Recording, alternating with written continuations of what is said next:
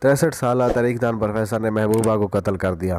محبت میں انسان اس حد تک انتہا پسندی کی طرف مائل ہو جاتا ہے کہ وہ اپنے ساتھی کا انکار یا کسی اور کے ساتھ افیئر کبھی برداشت نہیں کر سکتا۔ اس حوالے سے ان کا فارمولہ آ جا جا کر یہیں جو رک جاتا ہے کہ وہ میرا نہیں تو کسی کا بھی نہیں۔ وہ ایک لمحہ کے لیے یہ نہیں سوچتے کہ ان کے اس اقدام سے معاشرے میں کس حد حد تک انتشار پھیلے گا۔ روس کے ایک ماہر تاریخ دان نے بھی ایسا ہی صفاقانہ اقدام کیا کہ یہیں پر پورے روس میں تفشیش کی تحت دوڑ گئی، جہاں تاریخ کے معروف روسی پروفیسر اپنی گرل فرینڈ کو قتل کر کے اس کے ٹکڑے ٹکڑے کا کرنے کا اعتراف کر لیا۔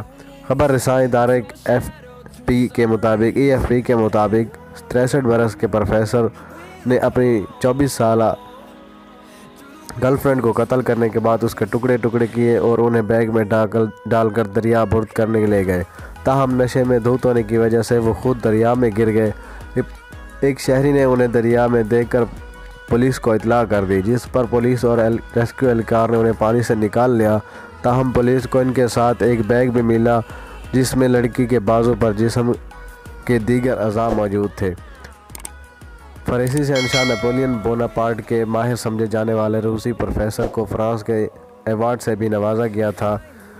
تو تاہم پروفیسر کے وکیل نے کہا کہ انہوں نے اپنے جرم کو تسلیم کر لیا ہے اور وہ اپنے کیے گئے کام پر نادم ہیں۔ وہ ہائپر تھامیا کے مریض ہیں اور شاید انہوں نے ایسا دباؤ میں کیا ہے۔ پروفیسر نے مولیلیس کو بتایا کہ ان کا اپنی دوست کے ساتھ جھگڑا ہوا تھا۔ انہوں نے لڑکی کو قتل کرنے کے بعد کلہاڑے کے ساتھ اس کے ٹکڑے ٹکڑے کر دیے۔ دوستوں محبت انسان سے امتحان بھی لیتی ہے اور کبھی کسی ایسے موقع پر غلط کام بھی کروا کر بیٹھ جاتی ہے۔ جس طرح اس فرانسیسی پروفیسر سے غلطی ہو گئی۔ تو دوستو، اگر آپ کو امید میری ویڈیو پسند آئے تو اس چینل کو ضرور سبسکرائب کریں اور اس ویڈیو کو بھی ضرور لائک کریں۔ بہت شکریہ۔